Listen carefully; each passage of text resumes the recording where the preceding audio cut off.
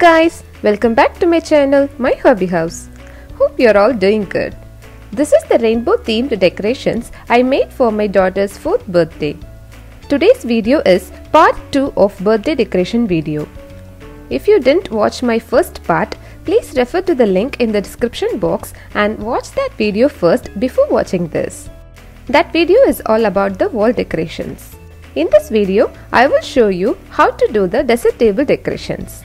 Before going into the video, if you are not a subscriber yet, subscribe to my channel and click the bell icon to get notified about my new uploads.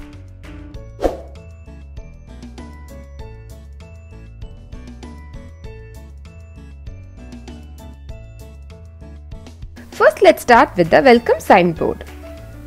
For this, you need a thick white cardboard and some markers.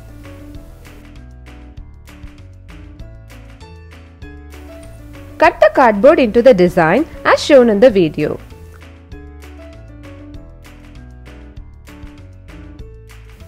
You need 3 pieces of clouds.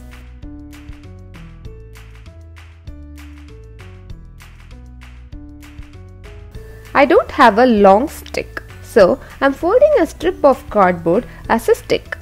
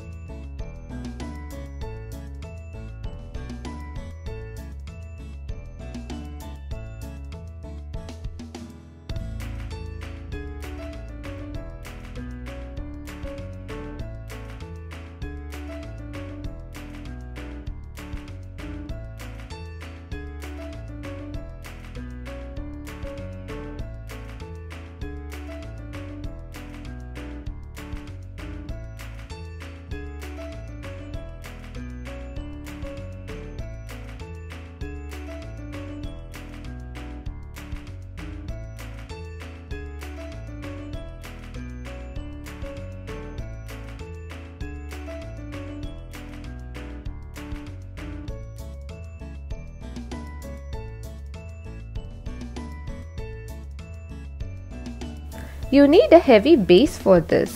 So, I have put some sand inside a waste plastic container and have covered it with some color paper strips. Next, for the name decor, I used glitter foam sheet. On the back side of the sheet, trace the letters as a mirror image and cut it out.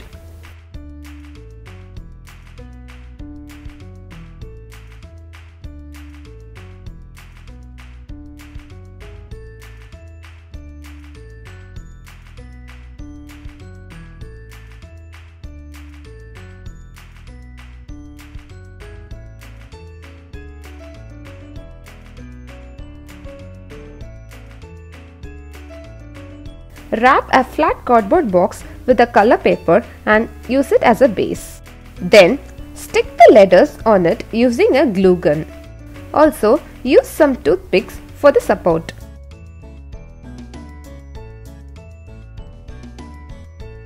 For the umbrella, cut the cardboard in the shape of an umbrella.